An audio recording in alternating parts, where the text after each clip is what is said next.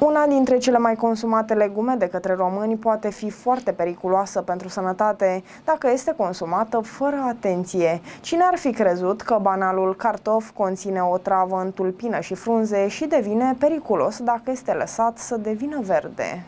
Conform DC News, transformarea în verde a cartofului apare din cauza unei mari concentrații a unei toxine numite glicoalcaloida. Medicii avertizează că otrăvirea cu cartofi este rară, dar se poate întâmpla, scrie realitatea.net. Moartea în cazul unei intoxicații survine de obicei după o perioadă de slăbiciune și confuzie urmată de comă. În Statele Unite, de exemplu, în ultimii 50 de ani, majoritatea cazurilor de deces au rezultat în urma consumului de cartofi verzi sau a ceaiului din frunze de cartofi. Este bine de știut că anume cartoful este una dintre legumele nelipsite din bucătăriile românilor, așa că și noi ar trebui să fim mult mai atenți. În plus, nu doar cartoful este periculos, la fel de dăunătoare pot fi și cireșele dacă sunt mâncate incorrect. Mai exact atunci când sâmburii de cireșe sunt zdrobiți, mestecați sau chiar doar ușor zgâriați, ei produc acid prusic și anură de hidrogen. Decesele provocate de consumul de cireșe sunt extrem de rare, dar trebuie să avem grijă să nu mestecăm sâmburii acestora. Există o legumă care totuși îți protejează plămânii plămânii și îți crește imunitatea, toți fumătorii ar trebui să-l mănânce de două ori pe săptămână dacă își doresc ca plămânilor să rămână sănătoși. Se estimează că peste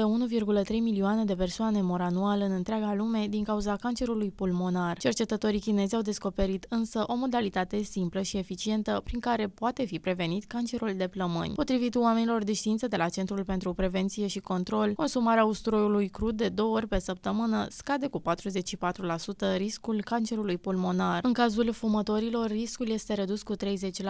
În plus, cercetările anterioare au demonstrat că usturoiul poate proteja plămânii de diverse afecțiuni și poate reduce riscul tumorilor cu o treime, relatează dcnews.ro.